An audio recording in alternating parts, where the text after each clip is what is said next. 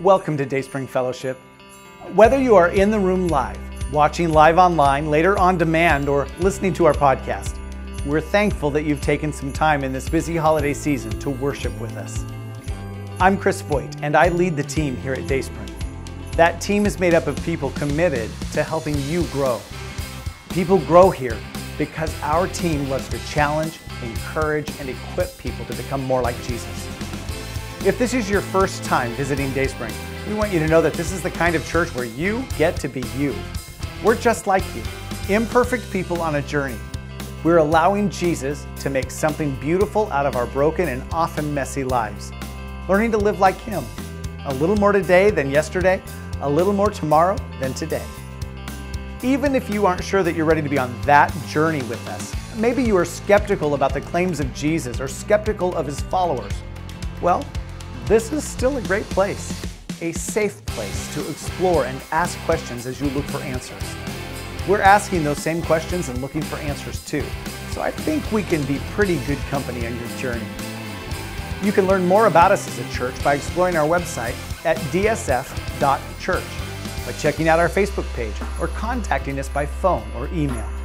If you need help figuring out the next step to making Dayspring your home church, or if you just have questions, let us know. We'll help you find the answers. For today's service, you can find a discussion guide by selecting Watch from the top menu of our website. And now, let's join our service.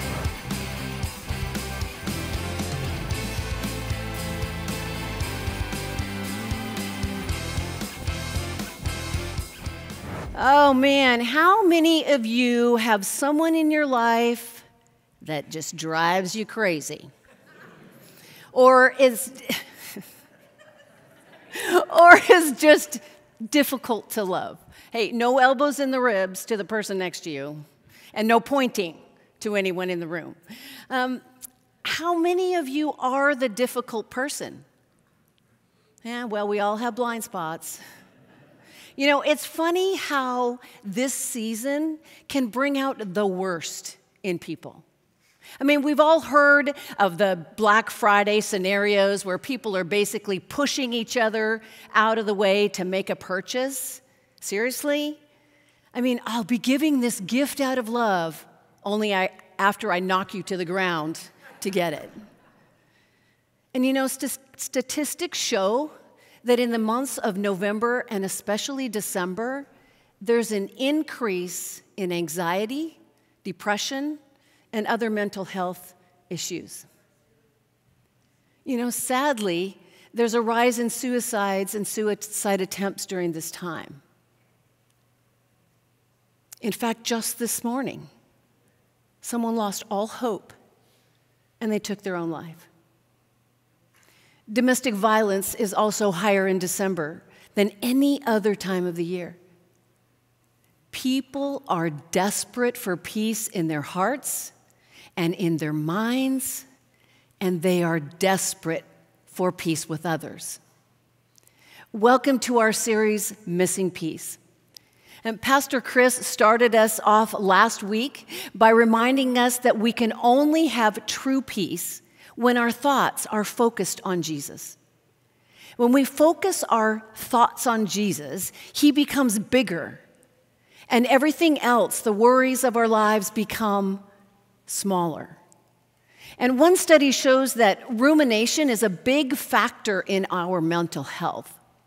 Rumination is basically thinking over things over and over and over, pondering the past, pondering the budget, pondering our losses. We miss our loved ones during Christmas season, pondering the things that we wish we could do or buy or escape.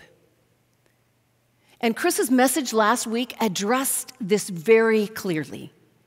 He, he didn't use the word rumination, but he definitely addressed what we should be ruminating on. Now, when we keep our thoughts on Jesus, it changes our outlook on everything. You know, not that it's wrong to remember and to grieve and hope for our future, but when we're looking at our lives through the lens of Jesus, it changes our outlook. It brings peace to the chaos. So if you missed last week, I highly recommend that you watch it. And if you struggle with ruminating thoughts, I highly recommend that you watch it more than once. You know, this week we're talking about finding peace with others, relational peace. God calls us to be at peace with the people in our lives and also with the people that maybe only cross our path once in, in, in, our lives. You know, like the guy that cut you off or the gal at the check stand that's taking way too long for your busy day. Or that person that gaslights you into frustration. And even that person who legitimately hurt you and you haven't fully dealt with that hurt yet. Although this might be an issue all year long, the holidays can exacerbate these situations. And we know that the enemy seeks to kill and steal and destroy anything that is of God, even Christmas cheer. And I find this typical of our enemy. As I told our Bible study last Tuesday, nothing brings Satan more Christmas joy than watching us be distracted by the frustration of the season. And the frustration of the season usually gets directed at people. So before we dive in, let's set our hearts and minds on Christ and the reason for the season. Let's pray before we begin. Heavenly Father, Lord and Savior Jesus, Holy Spirit, the hope of the world the hope of our individual lives for all of eternity. God, may we press into that today. May we press into who you are and who you want us to become. May we hear you personally instead of think of someone else while you're talking to us. God, we came here to be changed by you, so change us. In Jesus' name, amen. You know, the two commandments from the New Testament are to love God above all else and to love others like Jesus does. That's easy to say, yeah? Difficult to do. And sometimes we want to, but we just don't really know how. I mean, today we're going to look at what Scripture says about what it means and what it takes to have peace in our relationships. So we're going to jump right into Scripture this morning, and as we do, I'm asking you to be open to where God is growing you today. Don't allow your thoughts to be hijacked to how this applies to someone else. How does this apply to you? How does it apply to me? And, and we may hit some very sensitive issues today. Don't let the enemy get the best of you. Keep focused on Jesus and His Word and allow the Holy Spirit to heal and guide you in your relationships. Are you ready? Um, that was not a rhetorical question. Are you ready? All right. Let's take a look at Romans 12. We're going to look at 14 through 18 to start. All right. Bless those who persecute you. There's a good start. Don't curse them. Pray that God will bless them. Be happy with those who are happy and weep with those who weep. Live in harmony with each other. Don't be too proud to enjoy the company of ordinary people. And don't think you know it all. Never pay back evil with more evil. Do things in such a way that everyone can see that you are honorable. Do all that you can to live in peace with everyone. Now, Paul tells us to bless those who persecute you. And I don't often, if ever, use the word persecution. Um, but what about blessing those who are mean to us? are short with us or those who disagree with us? What about blessing those who hurt us or betray us? What does it mean to bless someone? Now, the word bless literally means to speak well of or to wish the best for someone. Now, think about this speak well of and wish the best for someone who's been rude to you, or disagrees with you, or betrays you, or even worse. Now, I think we could all say that it's easy to bless those who are easy to bless. It's much harder and more difficult when pain or disappointment are involved.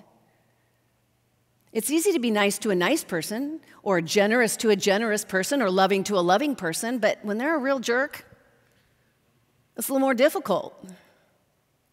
Or again, when they've hurt us in a way that seems too painful to get over, it's much harder to speak well of and wish the best for that person.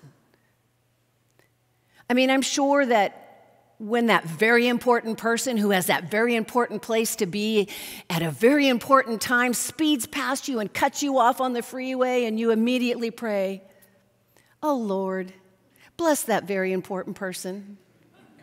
Help them to be at peace as they hurry along. Help them get to that very important place that they need to be on time. Yeah, doubtful. It, it's more likely that when you catch up to them 15 minutes later because their importance is being recognized by flashing blue and red lights, that you rejoice for them. You know, but Paul says, bless those who persecute you, bless and do not curse. And he says it in the present imperative, which means it's a command that is not a one time deal, but an ongoing action. It's an ongoing action, as in every day, forever. Keep blessing and continue to refrain from cursing. Uh, Craig Groeschel says it this way Be a continual blessing to those who are a continual problem. Now, I don't know about you, but I can be a blessing for a while until I'm not. I just can't keep it up when I'm pressed. I, I can't do this on my own strength, and neither can you. It's only because of God's mercy and grace and power of the Holy Spirit inside all of us, as we have a relationship with Jesus, that we can bless it all, let alone when it's difficult. And when I think of what God has done for me, his mercy to my undeserved attitudes and behavior, His grace and forgiveness for my ongoing offenses, His unconditional love, even when I offend Him and His people. When my thoughts are on how God loves me in spite of myself, it helps me to love others in spite of myself. My love for others should not be conditional on their behavior or their attitude. And we'll get back to that one. So don't just, don't what if me just yet. My love for others is conditional on my behavior and attitude. When I mentally and emotionally connect with the Holy Spirit and allow His love to flow through me, only then can I lay down the offense and get over the irritation, forgive the hurt. And how I love others is what brings peace in my relationships. Now, I see your minds working. I promise we'll get to the what ifs before we're done today. Now, in verse 16, Paul says to live in harmony with one another. And verse 16, he says, Live in harmony with each other. Don't be too proud to enjoy the company of ordinary people, and don't think that you know it all. It's a great verse for those of us who are just waiting to be offended. For those of you who are constantly on the edge of your seat, just waiting for someone to offend you again over the past issues or over the current situation or over tomorrow's predicted outcome over politics or the parking spot at the mall or church. Paul says to live in harmony, overlook the offense, choose not to be offended. Now, it sounds easy, yeah? But it's very difficult for someone who's in that rut. It takes focusing on Jesus and humility and maybe even an accountability partner who will call you out on it. And we can't control other people's words and actions, but we can control how we respond. And here's the thing people will hurt us and disappoint us and lie to us and offend us somehow. And as I said, we have to choose how to navigate that. When we are looking to be hurt or insulted or offended, we will most likely find what we're looking for. Looking to be offended is a lose lose situation. No one ever said that walking around with a chip on their shoulder enhanced their life. And no one ever said they are, they are so glad that they're so easily offended because it makes them so much happier and so much more productive. You know, I wonder how much time is lost spent on ruminating on the negative about someone or something. Check yourself to see if you have a critical spirit and are regularly the one that is offending others. I mean, what types of comments are we making? What are the norm for us? Are they critical or passive aggressive toward another? And if they are, we're not creating harmony, we're creating tension. So, what do we need to do differently to live in harmony? If you don't know, ask your family and friends and pray that they will be healthy enough to tell you the truth in love and that the truth is received with love. A critical spirit often has its root in pride. You know, someone with a critical spirit can always identify how a person could do better, or at the very least is quick to point out the fault or the low quality of or the mistakes of others. A critical spirit does not create harmony.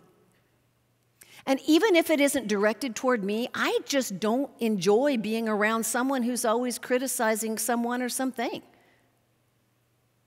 You know, pride causes people to think that they're better than or above someone else. I have a better education.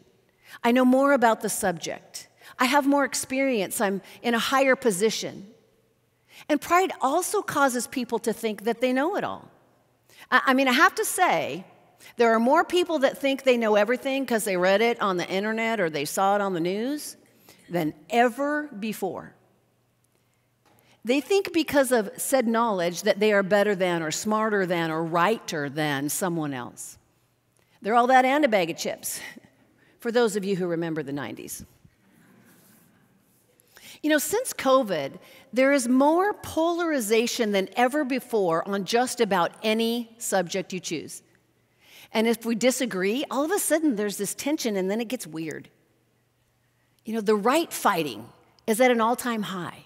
You know, right fighting is when we care more about being right than we care about the relationship.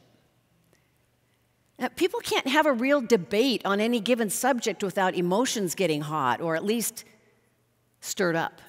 And I don't understand what happened. I mean, personally, I love debating any subject. Just having a conversation with someone who has a differing opinion to broaden my emotional intellect.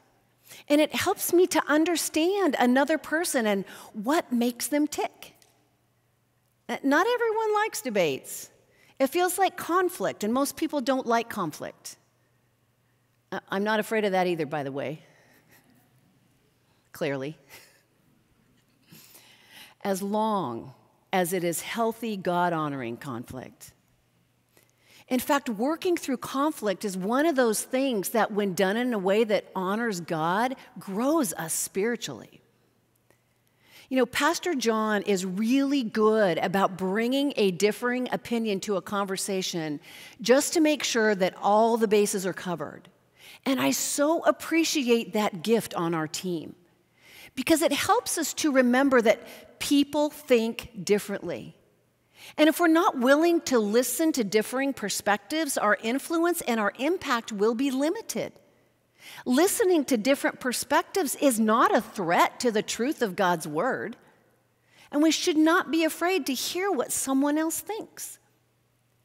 You know, part of living at peace with others is being a good listener. Are we humble listeners? Do we listen to understand and love, not to correct or to respond? Do we start with grace and then move to truth? Don't be too quick to point out the truth before you extend grace. You catch more flies with grace first. And the truth is that the world isn't going to recognize the body of Christ because they were right. They will recognize the body of Christ because they love like Jesus. Now, verse 17 says, Never pay back evil with more evil. Do things in such a way that everyone can see that you are honorable. Now, the word petty comes to mind. I can be petty.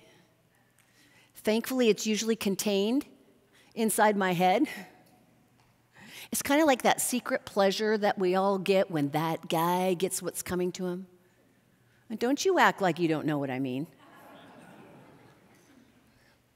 You know, I would say in general that Christ followers wouldn't consider that they do anything evil towards someone else. I mean, we view evil deeds as those that are, you know, committed by an axe murderer or other offenses that would land someone in jail for a long, long time, or at least they should.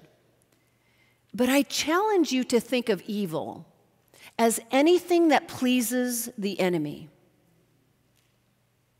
Does it please the enemy when we harbor ill will toward another? Does it please the enemy when we choose to treat someone else in a way that contradicts God's way? You know, when, when we practice a lifestyle of honesty and fairness and integrity and our beliefs and Christian values, it, it shows in our actions and how we treat other people. That's what an honorable life looks like. And the challenge is that we easily say what we believe, but then our actions don't always align with what we say we believe. So, which is true? What we believe or what we live? Now, don't think that we're getting out early just because we've arrived at verse 18. Uh, this verse is definitely the most difficult to live out, and that's why we're going to camp here for just a little bit.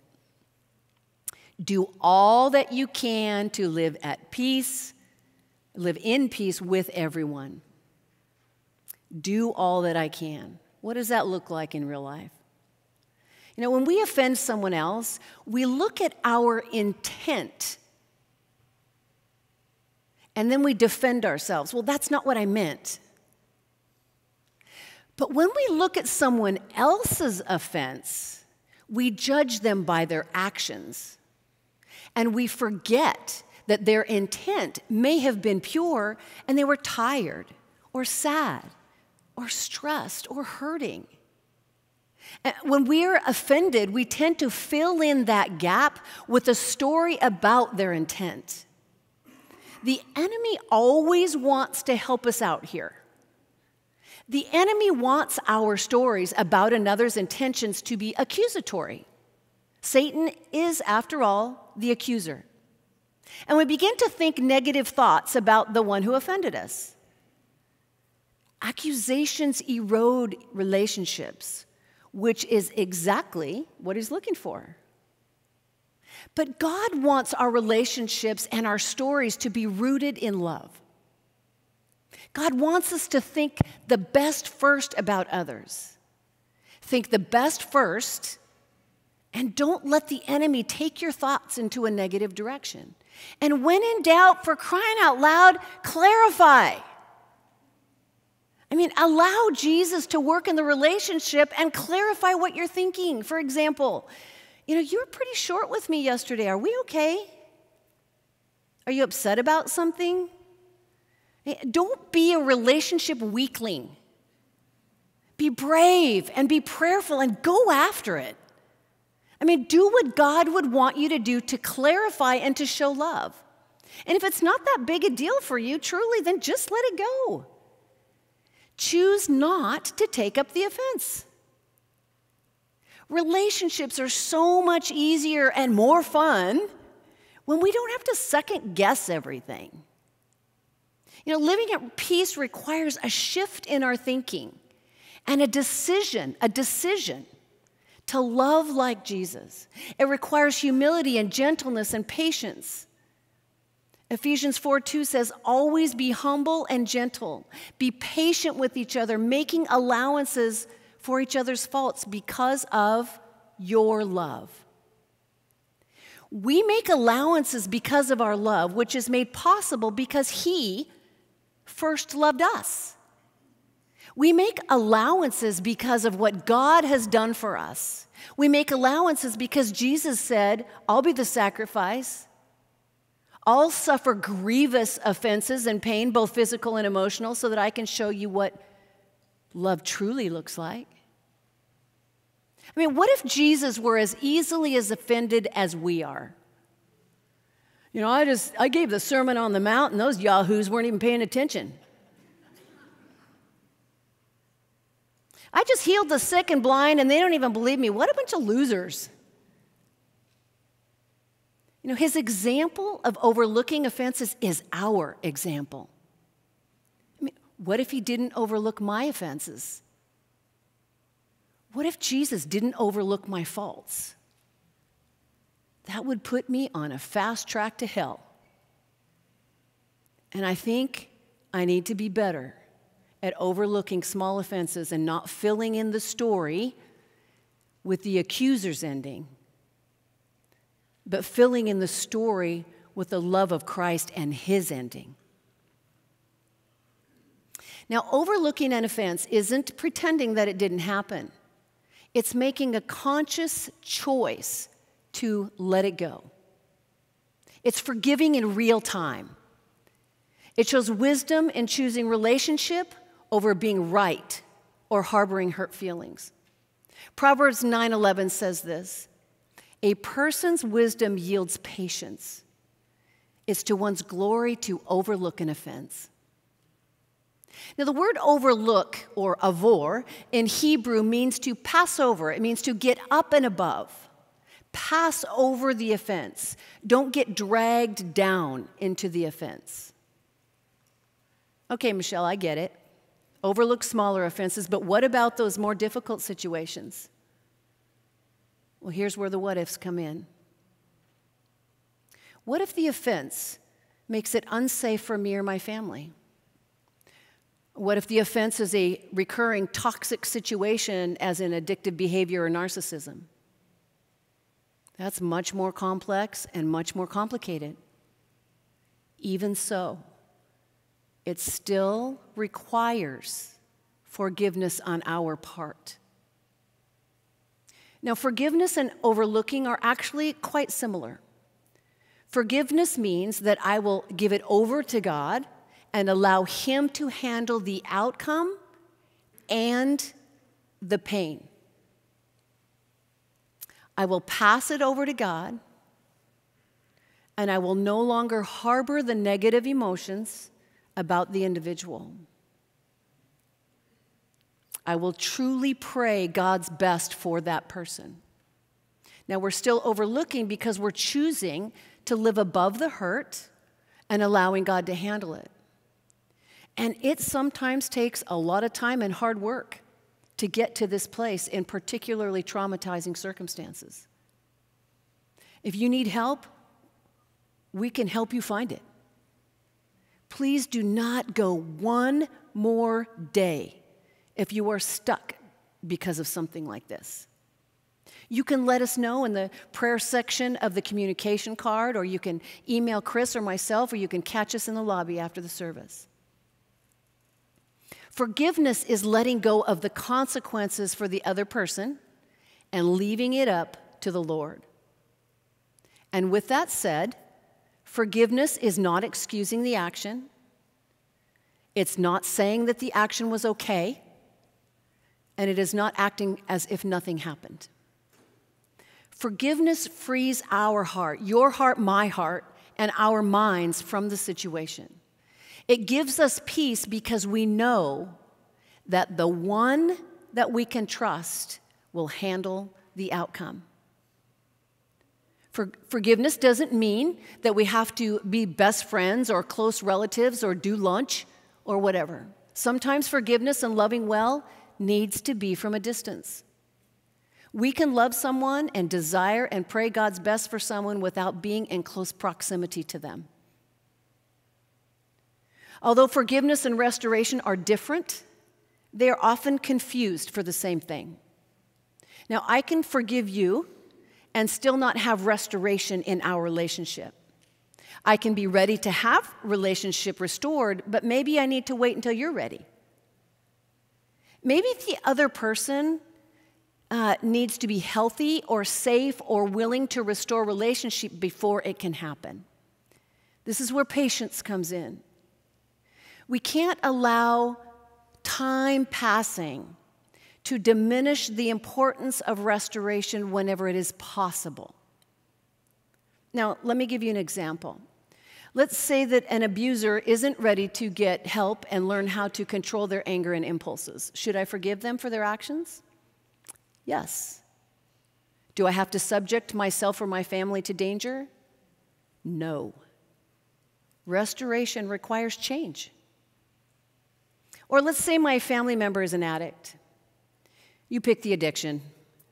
Uh, their addiction is hurting me and it's offending the trust in our relationship. It, it could even be dangerous to me or my family. Should I forgive?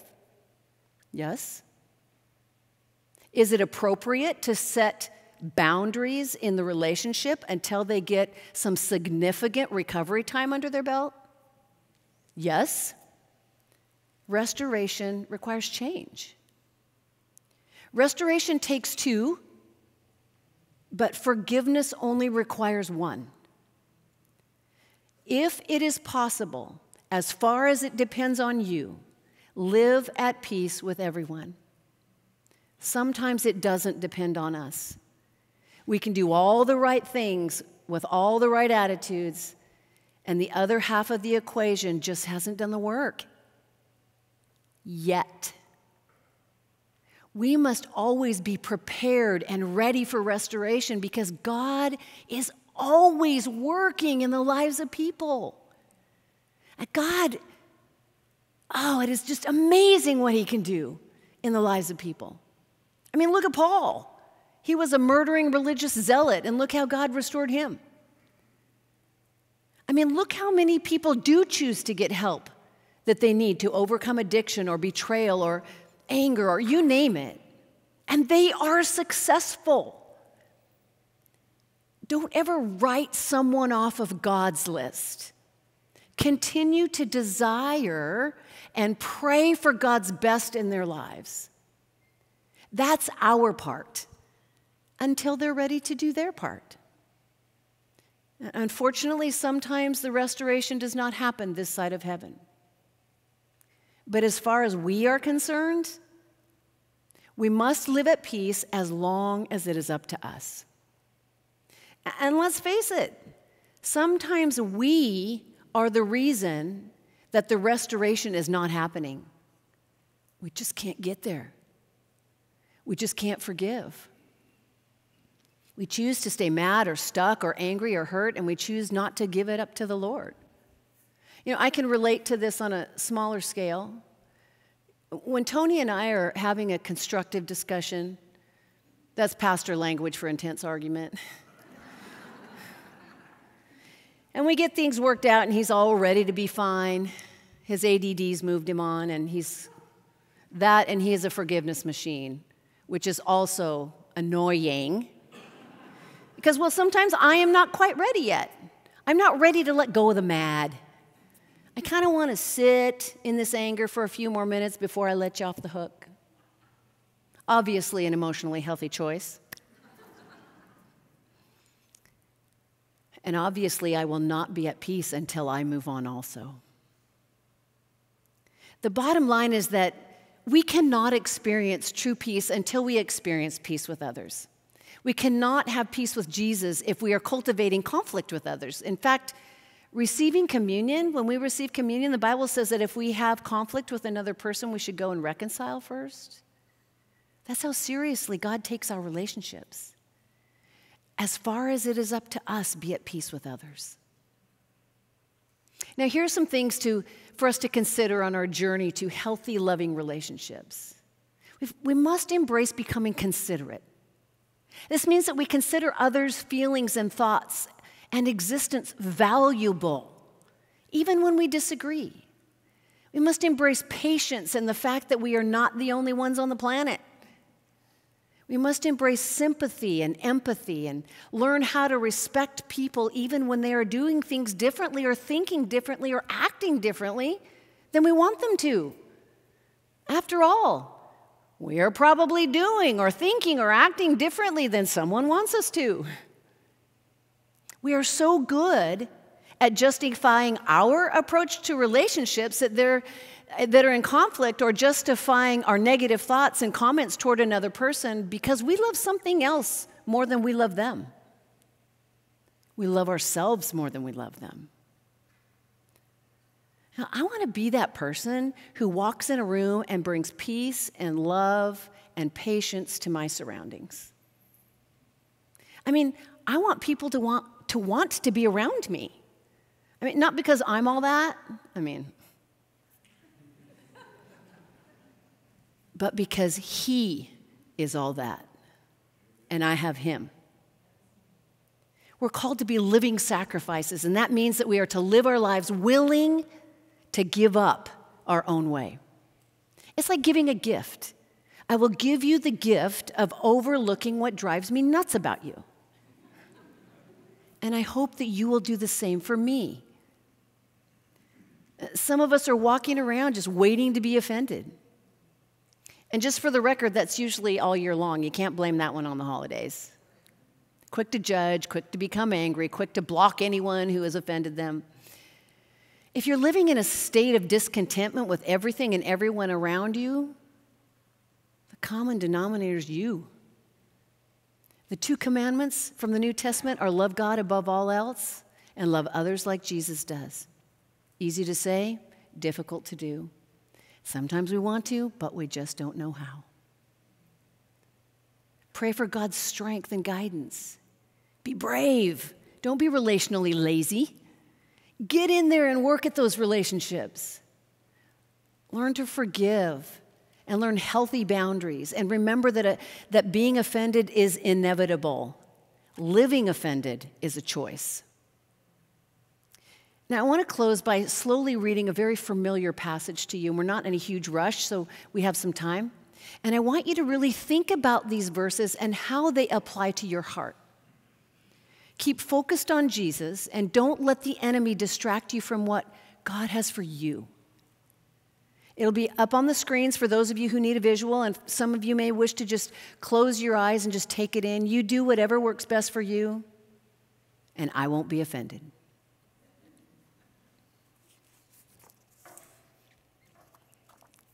1 Corinthians 13, 1 through 3. If I speak in the tongues of men or angels but do not have love, I am only a resounding gong or clanging cymbal. If I have the gift of prophecy and can fathom all mysteries and all knowledge, and if I have faith that can move mountains but do not have love, I am nothing. If I give all I possess to the poor and give over my body to hardship that I may boast but do not have love, I gain nothing. Clearly, loving others is the most important thing. And as we read this next section, I want you to consider the areas that maybe you need to grow in. Love is patient.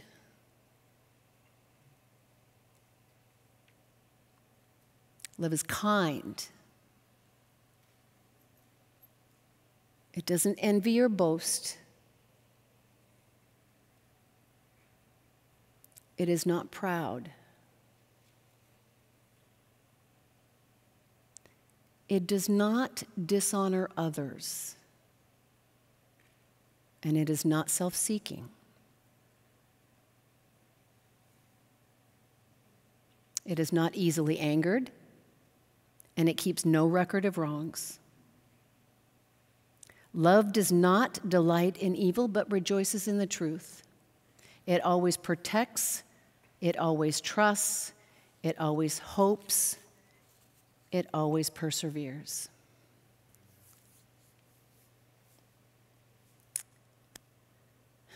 How are we doing in the love department?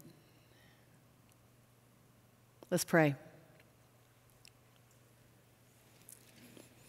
Heavenly Father, we thank you for your gracious love and the opportunity to choose you above all else. And we acknowledge, God, that, that in relationship with you is the only way that we can love like you love. And in every single one of us, there's a struggle. Point it out.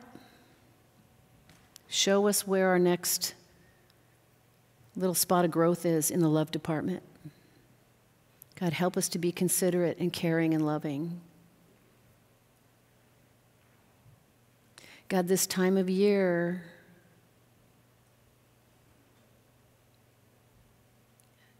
can be difficult. And the fact that we're celebrating the birth of the one who saved us for so many doesn't take away the, the sadness and the difficulty of the season. So, God, I just pray a special blessing on those hearts who are hurting and those minds who are away from you. That they would rejoice in the gift of your salvation. Feel the presence of your love in the difficult challenges. Have the ability to forgive and set healthy boundaries that honor you. We love you, Lord, and we know you love us. And we thank you in Jesus' name. Amen.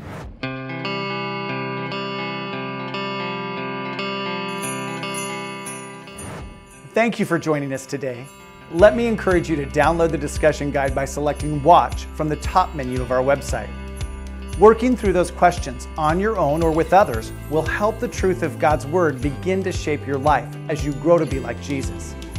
Please reach out if you have any questions or want help on your spiritual journey. My email address is on the screen, or you can call the church during the week. If you are just checking us out today, please know that we don't expect you to give anything to support Dayspring.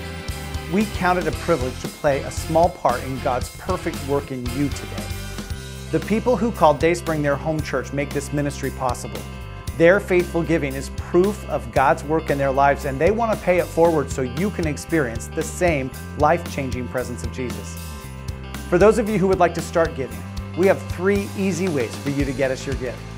Please see the online giving section of our website, or text GIVE to the number on your screen, or mail a check to us at the address you'll find on our website. Until we meet again, I am praying that God will give you opportunities to use your influence for the glory of His kingdom. And one more thing. Thank you for liking and sharing and following Dayspring on whatever platform you connect with us. Thank you for rating us where that is appropriate. Even more, thank you for sharing our services with your friends and family. If this service was a blessing to you, it'll probably be a blessing to someone else too. God uses you to plant seeds in other people's lives, so keep sowing.